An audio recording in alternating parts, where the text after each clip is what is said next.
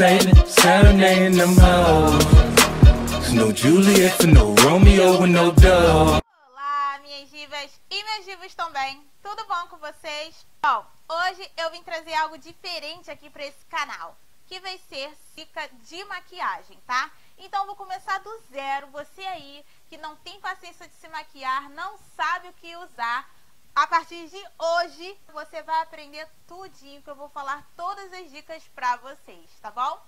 Então agora, eu vou começar. Esse primeiro vídeo vai ser os produtos necessários que você precisa ter para ter uma maquiagem perfeita, tá? Bom, a primeira coisa que você tem que fazer é higienizar o seu rosto corretamente. Porque se você não higienizar o seu rosto corretamente, quando você for aplicar a base e os outros produtos, se o seu rosto for muito oleoso, ele vai ficar com excesso de brilho na foto ou no vídeo. Se o seu rosto for muito seco, quando você aplicar a base, pode vir a craquelar. Então, tem tipos de base para vários tipos de pele, tá? Então, você precisa higienizar o seu rosto corretamente. O meu rosto, ele é oleoso. Então, o que eu faço? Eu uso esse produto aqui, que é o Actine. Ele é um sabonete muito bom, que é para pele oleosa. Deixa a minha pele bem sequinha. E depois eu venho com um tônico, tá? Eu tiro todas as impurezas da minha face. E aí o tônico que eu uso é esse aqui também da Actine, que é para pele acneica. Depois disso eu vou hidratar a minha pele. Sim, não tem que usar hidratante, você não pode somente sair aplicando o prime não, tá? Hidrate a sua pele para que venha ficar perfeito, bem niveladinho. E, e, o creme hidratante que eu uso, que é este daqui, que é da Vichy, ele também é para pele acneica. Todos os produtos vão estar listados lá no blog, então não deixe de visitar lá, tá? Para você conferir tudo direitinho. Aí acabamos a parte de cuidados faciais. Vamos para a parte de prime, tá? Como a minha pele é muito oleosa, gente, eu me maqueio, passa 30 minutos, já tá tudo brilhando isso aqui, ó. Fica igual um outdoor, parece que tô refletindo várias flashes.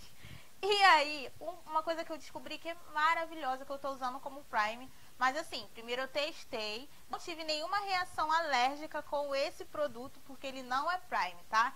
É só um Severino, um quebra-galho que eu achei que se adequou com a minha pele e segura a minha maquiagem durante o dia inteiro. O dia inteiro eu fico o meu rosto fica sem brilho, sem nada. O produto que eu vou falar pra vocês, que eu vou mostrar pra vocês, vocês vão rir agora, é o leite de magnésio. Divas, divas, eu estou usando esse, esse produto aqui igual uma louca. Ele é muito bom, muito bom. Nunca mais eu vou deixar de ter isso aqui na minha vida. Assim, não me dá nenhuma alergia, tá? Então você tem que testar antes e deixa a maquiagem muito seca. Então depois desse ritual todo de cuidado com a pele, eu aplico ele no meu rosto, fica bem branquinho. Eu vou fazer um vídeo só separado sobre esse produto aqui, mostrando pra vocês como que eu uso. E aí eu espero secar. E logo em seguida, eu uso um prime. Bom, divas, agora nós vamos entrar na parte de maquiagem, tá? E vamos começar pelo quê? Pelo prime o Prime ele vai disfarçar os seus poros. Eu tenho muitos, gente, muitos, vocês não têm noção. O negócio aqui é crítico. Só quem me acompanha aí no Snapchat sabe como é a realidade do meu dia a dia sem maquiagem. E aí tem que usar um Prime para disfarçar. O Prime que eu tenho usado é esse aqui, é o da Colos, tá? Mas não precisa ser esse. Você vai ver qual o melhor Prime aí que se adequa na sua pele, tá bom? E depois do Prime vem o que? Vem a base. Que é sempre bom você ter duas bases. Uma, o Baby Queen, que você usa durante o dia, que é uma base mais levezinha. Aqui eu uso essa daqui. Aqui eu uso essa daqui, que é da L'Oreal, o escuro. E quando eu quero uma pele bem mais carregada, mais perfeita, pra noite ou para gravar vídeo, tirar foto, eu uso essa daqui, que é da Tracta, da Maybelline, que é Emulse. As duas têm uma cobertura maravilhosa para quem tem muita acne, mancha ela cobre bastante, sendo que quem tem a pele mais sequinha, não é legal você usar uma base oil free, tá? As duas são base oil free. Agora, se você tem uma pele mais seca, você pode usar uma base líquida hidratante. Eu não tenho aqui nenhuma para mostrar para vocês, mas a embalagem é assim também, é em bisnaguinha, tá? Aí você me pergunta, Luani, mas como eu vou escolher o tom da minha base? Sempre quando você for comprar uma maquiagem, vá de cara lavada, para você testar passar em todo o seu rosto. Porque se você testar a base na sua mão, Geralmente a nossa mão é mais pigmentada do que o rosto. O meu rosto ele é muito mais claro do que a minha mão. Então pode dar diferença, tá? Então sempre que você for testar uma base, for comprar uma base, teste no rosto, ok? Corretivo vocês têm que ter três. No caso, um corretivo mais denso, cremoso. O meu cremoso é esse daqui, que é o Belange, tá? Eu gosto de usar eles mais para correção de sobrancelha, porque ele é um corretivo bem gordurosozinho. Então, se eu aplicar ele no restante do meu rosto, fica muito brilhoso, me produz mais oleosidade. Então, eu gosto de usar ele na correção da minha sobrancelha, que já tem vídeo aqui no canal mostrando para vocês como que eu corrijo a minha sobrancelha. E como fixador de sombra também. Eu só uso esse aqui para isso, para corrigir a sobrancelha e como fixador de sombra. Agora, se você tem uma pele mais seca, você pode usar aqui. Ele é show de bola. E aí vem a segunda parte, de corretivo. Você tem que ter um corretivo mais denso para cobrir as suas manchas. Esse aqui da Mary Kay, o Bronze 1, que ele corrige bastante as minhas imperfeições. E eu uso juntamente com ele esse aqui, que é o Yellow da Mary Kay, que é o corretivo amarelo. Unindo esses dois aqui, dá uma cobertura altíssima, deixa minha pele um acabamento perfeito, tá?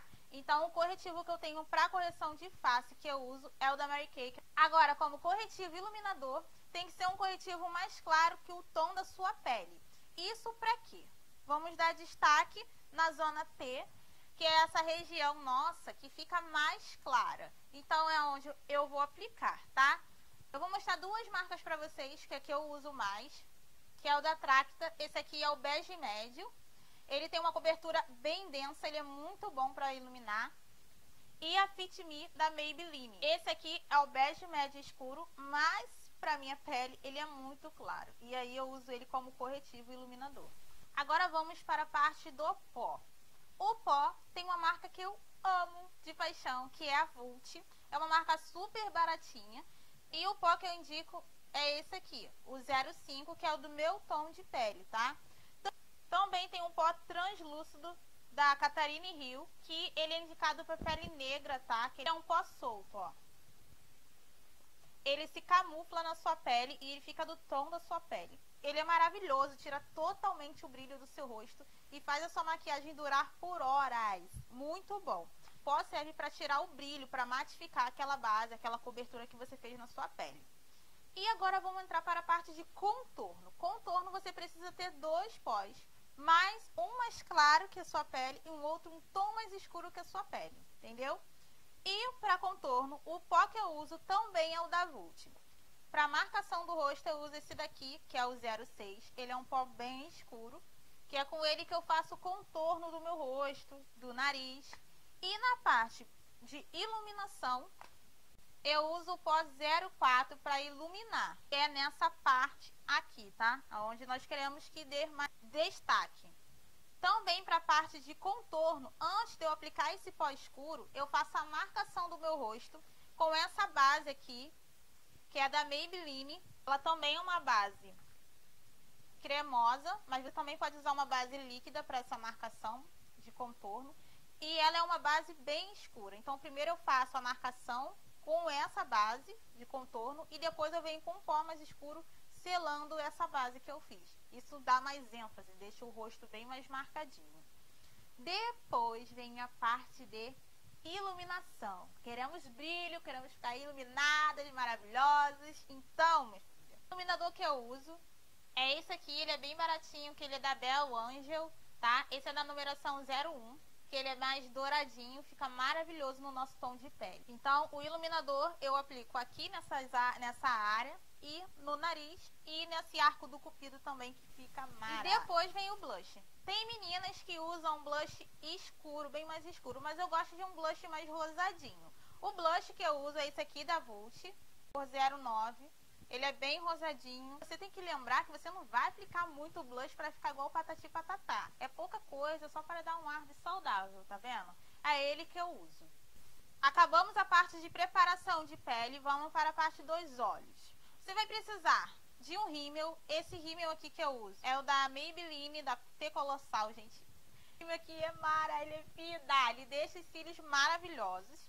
Os que eu gosto de usar para vídeo é esse aqui. Ele é da numeração volume 04 e ele é maravilhoso. Para colar os cílios, eu gosto de usar essa cola aqui, também da mesma marca. Essa aqui é preta. Ou você também pode ter como opção essa daqui que é a Duo. Agora vamos para a parte de lápis de olho. Eu gosto sempre de ter dois tipos de lápis de olho. Um à prova d'água, esse aqui é o da Colos. E, e um preto que seja bem pigmentado, esse aqui é o da Marchete, tá? Ele é um lápis maravilhoso. Eu uso ele há séculos, ele é muito bom. Também é importante você ter um lápis branco para iluminar o cantinho do olho e passar no canal lagrimal. Isso vai fazer com que dê mais destaque ao seu olhar. Agora, se você tem um olho muito grande, não aconselho você usar não, tá? Só para quem tem olhos pequenos. Esse aqui, é o, esse aqui é o da Natura, que é o que eu uso bastante. Já para sombra é importante você ter duas paletinhas de maquiagem. Uma com sombras opacas e outras com sombras mais brilhosas, tá?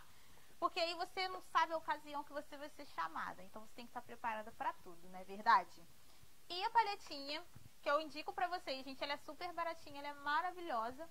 É essa daqui, da Bel Ange. Ela é super coringa, gente. E tem todos os tons nudes que você pode imaginar. E a pigmentação dela é maravilhosa. A palhetinha 3D que eu indico, da marca Vinix, que é essa daqui. E ela é assim, ó. Estão vendo? Essa caiu até o palitinho. Ela é assim, e as sombras são bem brilhosas. Ela é bem colorida, dá pra você brincar bastante com E o batom sombras. é uma coisa muito pessoal, varia aí de gosto pra gosto, tá? Só que, uma coisa que você não pode deixar de ter é um lip balm. Porque você tem que manter os seus lábios hidratados para passar o batom, né, minha diva? Como é que você vai ficar com um batom lindo, maravilhoso, com um beiço todo craquelado, todo rachado? Não dá, entendeu? Então, o lip balm que eu tenho usado bastante é esse daqui, que é da Els. E ele é assim, ó. Ele é em bolinha. Mas tem outros aí no mercado, tá? Da Maybelline, tem até mesmo da Mary Kay. Então é isso, minhas divas. Espero que vocês tenham gostado. Todos esses produtos vão estar listados lá no blog. Então vai lá se você ficou com dúvida em algo. Não precisa você ter necessariamente esses mesmos produtos, tá? É só uma dica que eu tô dando pra vocês e mostrando o que eu uso na minha pele. Então é isso, eu espero que vocês tenham gostado. Mil beijos e até a próxima!